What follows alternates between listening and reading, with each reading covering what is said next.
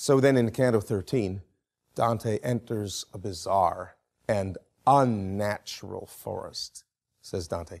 Its leaves not green, but dingy and dull black. No slender limbs, but hunched with knots and gnarls. No hanging fruit, but sticks and poisonous thorns.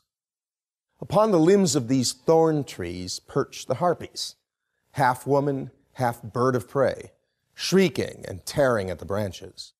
Cries can be heard all round, but no bodies are to be seen. At first, Dante believes that the souls are hiding in the thick woods. But Virgil, to disabuse him of that error, instructs him to snap some little twig from off one of these plants. Dante does so. And suddenly a plaintive cry comes from the violated tree. Why do you hack at me? When it had darkened with its dripping blood, it cried anew, Why do you mangle me? Isn't there any pity in your soul? Once we were men, now we are stubs and stakes. Your hand might well have felt more sympathy, even if we had been the souls of snakes. These are the suicides, imprisoned forever in trees.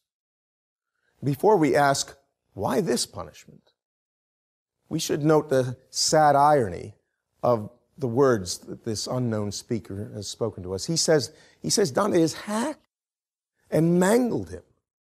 But all Dante's done is to snap a twig off a little branch.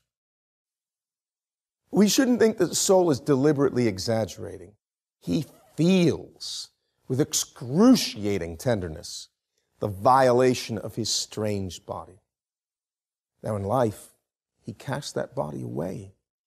He cast it away as if it were trash. But now in hell, he's utterly solicitous for its welfare, its integrity. He accuses Dante of having no pity, when in reality, he's the one who had no pity. He's the one who treated his own body as if it were merely a den for something worthless, like the soul of a serpent. Neither Dante nor Virgil sought to cause the spirit this pain. In the Aeneid, Virgil was the first poet to use the motif of a soul imprisoned in a tree and the blood and the voice coming from the broken branch.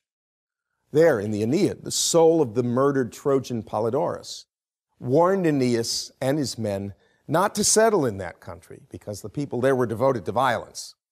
Polydorus had been a guest whose host accepted a bribe to put the boy to death. We're meant then to associate suicide with that vicious action of bribery for murder. And there's a certain consistency to it. The suicide, after all, if we think about it a little bit, the suicide intends to buy with his self murder a certain defiant pleasure or perhaps an escape from pain. Yet for all that, we're meant to feel some pity for this broken tree.